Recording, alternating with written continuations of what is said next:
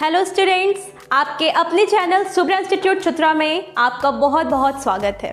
जैसा कि आपने इससे पहले वाले वीडियो में क्वेश्चन सेट वन को सॉल्व करते हुए देखा था।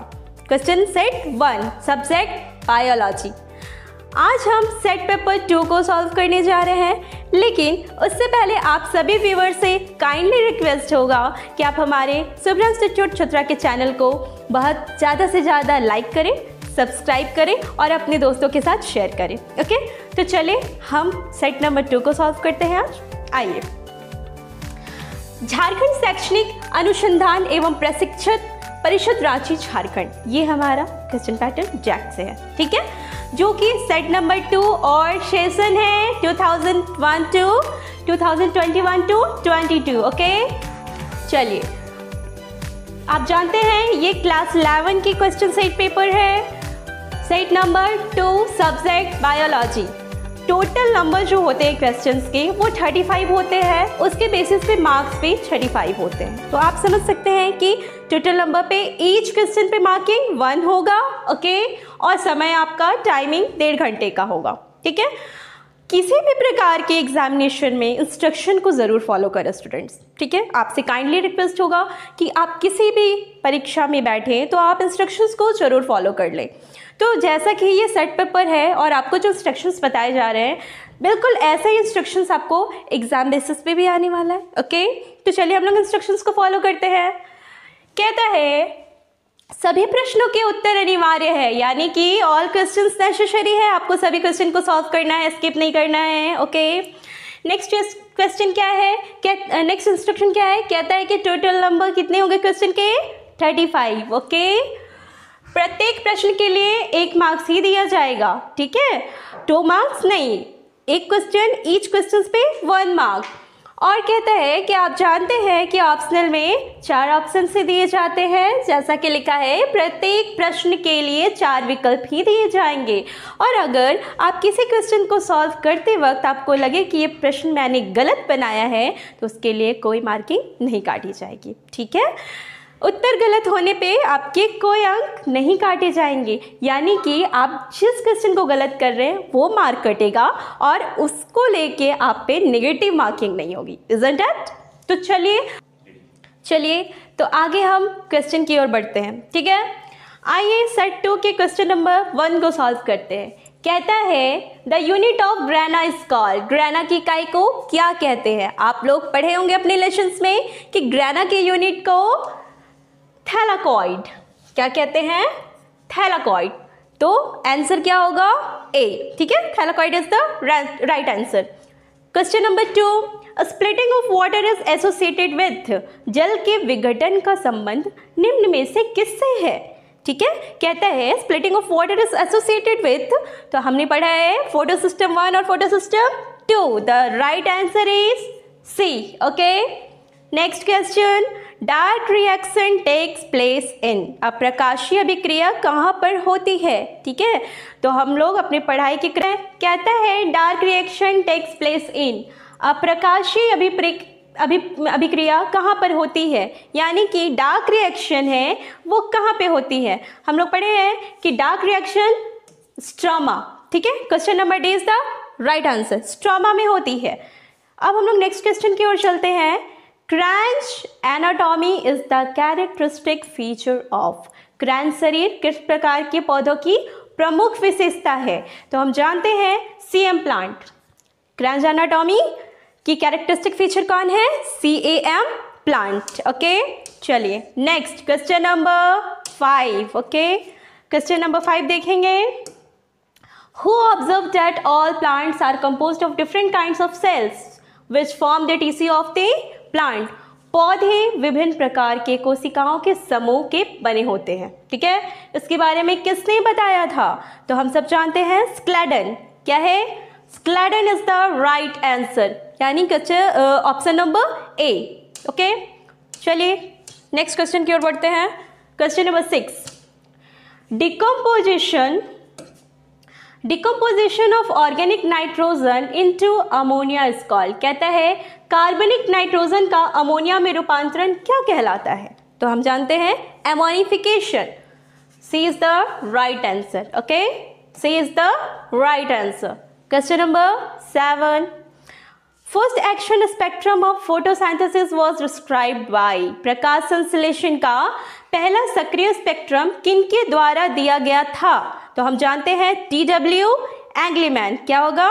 T W Engelmann option number C okay C is the right answer चलिए, अब हम लोग नेक्स्ट क्वेश्चन की ओर बढ़ते हैं। Question number eight okay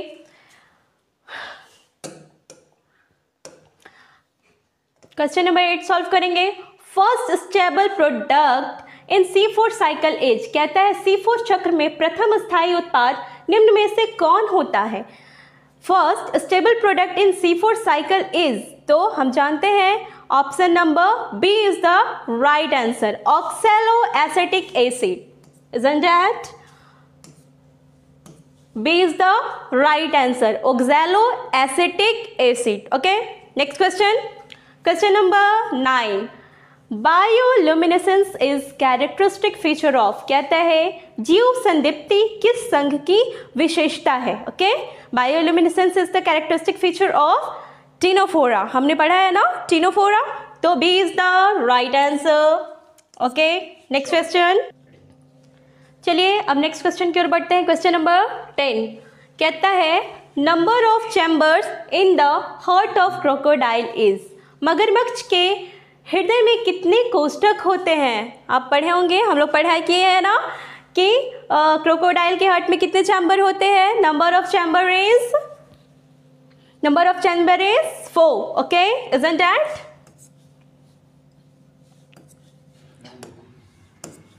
ठीक है? Option number C is the right answer ठीक है? चलिए, अब क्वेश्चन नंबर इलेवन की ओर बढ़ते हैं। कहता है presence of pneumatic bones is the characteristic feature of वायु कोश युक्त अस्थियाँ निम्न में से किस वर्ग की एक प्रमुख विशेषता है? Presence of pneumatic bones is the characteristic feature of ठीक है? इलेवन ऑप्शन कहता है option number A fish amphibia reptile birds तो the right answer pneumatic bones जो प्रेजेंट होते हैं, वो बर्ड्स में होते हैं ओके okay? तो बर्ड्स यानी option number D is the right answer okay आगे बढ़ते हैं, चले next question question number twelve okay ठीक है? Which one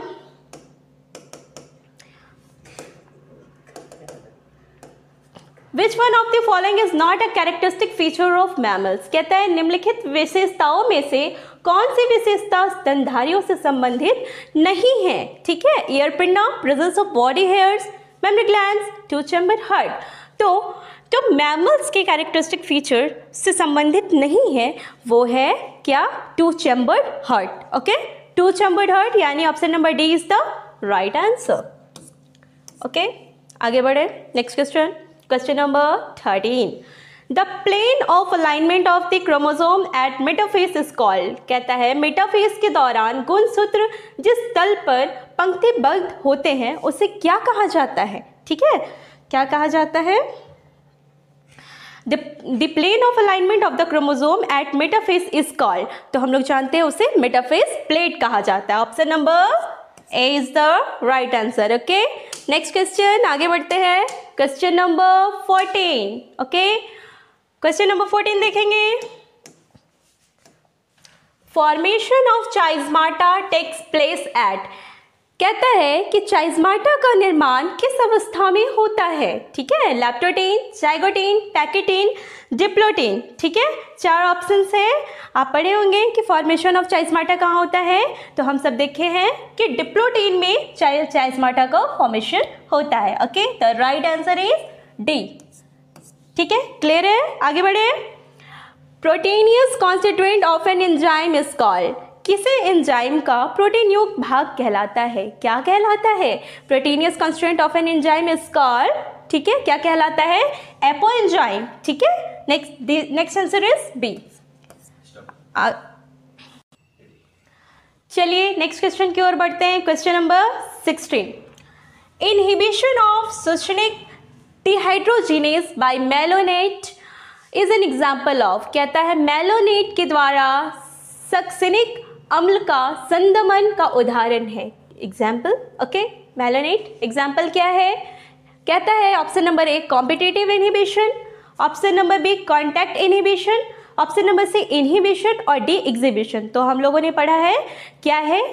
सुसनिक dehydrogenase by malonate की एग्जांपल क्या है? Competitive inhibition option number A is the right answer okay अब चलिए हम लोग ऑप्शन नंबर सेवनटीन की ओर चलते हैं। कहाँ चलेंगे?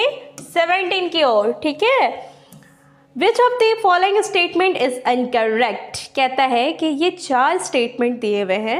इन चारों स्टेटमेंट में कौन से स्टेटमेंट जो है वो गलत है। पहला statement enzyme slowers the inactivation energy second enzyme source highest activity at optimum temperature third coenzyme is a kind of cofactor और फोर्थ कहता है enzyme slower the rate of reaction तो ऑप्शन नंबर डी कहता है कि enzyme slower the rate of reaction is the right answer okay option D is the right answer ठीक है? ये इनकरेक्ट है ओके चलिए अब हम लोग आगे बढ़ते हैं।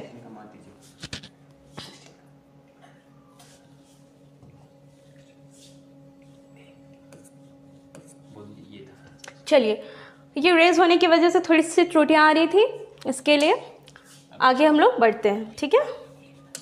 चलिए, अब हम लोग नेक्स्ट क्वेश्चन की ओर बढ़ेंगे क्वेश्चन नंबर एटीन ओके चलिए क्वेश्चन नंबर एटीन सॉल्व करते हैं। कहता है splitting of water during photosynthesis take place at प्रकाश संश्लेषण के किस चरण में जल का विखंडन होता है? ठीक है? कहता है प्रकाश संश्लेषण के किस चरण में जल का विखंडन होता है? P S one P S two both A and B door is no splitting of water during photosynthesis हम लोगों ने देखा था, क्या है? पी एस टू पढ़ाई किया है ना हमने? P S two the splitting of water during photosynthesis take place okay next आगे बढ़े? क्वेश्चन नंबर नाइनटीन ठीक है? आगे बढ़ते हैं question number nineteen C three is also known as C three C three चक्र को हम इस नाम से भी जानते हैं। चलो चलिए नेक्स्ट क्वेश्चन की ओर बढ़ते हैं। क्वेश्चन नंबर नाइनटीन ओके कहता है C three cycle is also known as C three चक्र को हम इस नाम से भी जानते हैं। किस नाम से भी हम जानते हैं? तो Calvin cycle okay Calvin cycle is the right answer हम लोगों ने पढ़ा है कि सी थ्री साइकिल को हम कैलविन साइकिल भी कहते हैं ओके okay? आगे बढ़े। कहते हैं law of limiting factor was proposed by law of limiting factor किन के द्वारा प्रतिपादित किया गया है? हम लोगों ने पढ़ा है कि law of limiting factor Blackman के द्वारा क्या किया गया है? प्रतिपादित किया गया, यानी प्रपोज किया गया, इनके द्वारा बताया गया है। तो the right answer is D okay आगे बढ़े।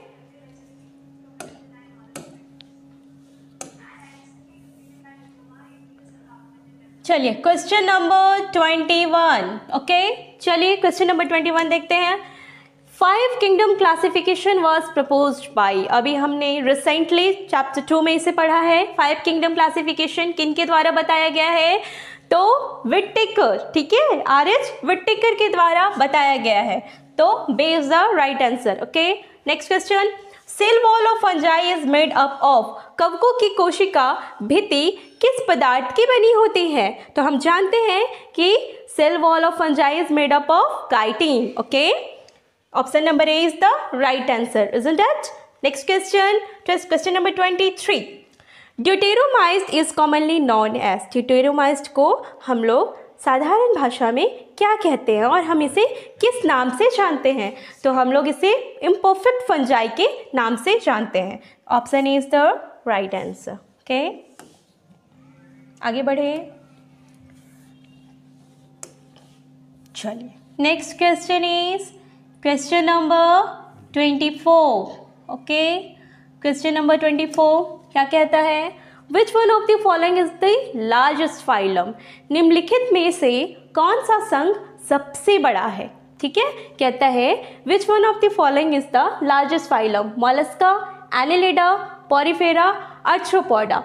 तो हमने पढ़ा है कि जो लार्जेस्ट फाइलम है, वो है Arthropoda okay Arthropoda is the right answer D next question lichen is a symbiotic association of ठीक है? हम लोगों ने देखा अभी रिसेंटली चैप्टर टू में देखा है कि लाइकिन की जो सिम्बायोटिक एसोसिएशन है, वो है एलगे और fungi option number C is the right answer okay आगे बढ़े। चलिए नेक्स्ट क्वेश्चन की ओर बढ़ते हैं। Question number twenty six viroids is a viroids एक प्रकार है। किसके प्रकार है वायरॉइड्स आपके वायरॉइड्स जो है, वो फ्री आरएनए के टाइप्स है ओके किसके टाइप है? फ्री आरएनए ठीक है? फ्री आरएनए के टाइप से वायरॉइड ठीक है? Option A is the right answer next question TMV stands for TMV का पूरा नाम, यानी फुल फॉर्म ऑफ़ टीएमवी ठीक है? क्या कहते हैं? टोबैको मोजाइक वायरस हम लोगों ने पढ़ा है C is the right answer tobacco mosaic virus next question virus that infects a bacteria is called विषाणु, जो जीवाणु को संक्रमित करता है, वो क्या कहलाता है? कहता है virus that infects a bacteria is called option है वायरॉइड्स बैक्टीरियोफेज माइकोबायोन्ट और फाइकोबायोन्ट तो option B is the right answer bacteriophage हमने पढ़ा है अभी रिसेंटली ठीक है? आगे बढ़े क्वेश्चन नंबर ट्वेंटी नाइन के चलिए। कहता है first terrestrial plant to possess vascular tissue सार वह प्रथम स्थलीय पौधा जिससे सम संवहनीय उत्तक उपस्थित था। ठीक है? तो क्या है? टेरिडोफाइट जो फ़र्स्ट टेरेस्ट्रियल प्लांट को पोजेस करते हैं वेस्क्यूलर टिश्यू के साथ, वो है टेरिडोफाइट यानी option D is the right answer ठीक है? नेक्स्ट क्वेश्चन की ओर बढ़ते हैं। Liverworts and mosses belongs to. कहता है लीवरवोट और मॉस किससे संबंधित है? ब्रायोफाइट, चिमनोस्पर्म, एंजियोस्पर्म और टेरिडोफाइट। तो हम लोगों ने देखा है कि ब्रायोफाइट्स के जो एग्जाम्पल्स थे, वो थे लिवोवर्ड्स और मोसिस। और हम लोगों ने टाइप्स में भी ये पढ़ा था, ब्रायोफाइट्स के टाइप में ओके तो option A is the right answer ठीक है? आगे बढ़े क्वेश्चन नंबर थर्टी वन चलिए थर्टी वन की ओर बढ़ते हैं आगे। थर्टी वन कहता है an organism that completely lack cell wall कहता है कि आप उस ऑर्गेनिज्म के बारे में बताएँ जिनमें सेल वॉल कम्प्लीटली लैक होता है, यानी कि उसमें सेल वॉल नहीं होता है। प्रोटिस्टा माइक्रोराइजा माइकोप्लाज्मा डाइटम्स हम लोगों ने देखा था कि माइकोप्लाज्मा में सेल वॉल नहीं होते ओके तो the option C is the right answer ठीक है, आगे बढ़े। Option number question number thirty two. कहते हैं, blue green algae is a blue green blue green algae यानी कि नील हरित सवाल एक है। यानी कि किसके टाइप से blue green algae is a? ये किसके टाइप है? ऑप्शन कहता है, एल्गी, फंजाई, बैक्टीरिया, वायरस। तो हम लोगों ने पढ़ा था, ब्लू ग्रीन एल्गी, बैक्टीरिया क्या एसोसिएशन है? ओके? तो the right answer is option C ठीक है? नेक्स्ट क्वेश्चन की ओर बढ़े। नेक्स्ट क्वेश्चन की ओर बढ़े। Question number thirty three. Question number thirty three. देखेंगे आगे। An extra chromosomal circular DNA is called कहता है जीनोमिक डीएनए के अतिरिक्त डीएनए वृत्त क्या कहलाते हैं? प्लाज्मेट कॉजमेट फेजमेट डेसिमेट्स ठीक है?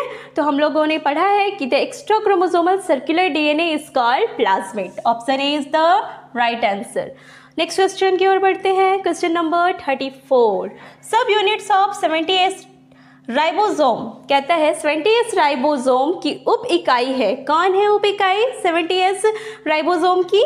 तो सेवेंटी एस राइबोसोम की उप इकाई है फिफ्टी एस और थर्टी एस तो option A is the right answer अब हम लोग लास्ट क्वेश्चन की ओर बढ़ते हैं। जैसा कि हमने आपको पहले बताया था टोटल नंबर क्वेश्चन कितने होंगे? Thirty five okay last question तो लास्ट क्वेश्चन कहता है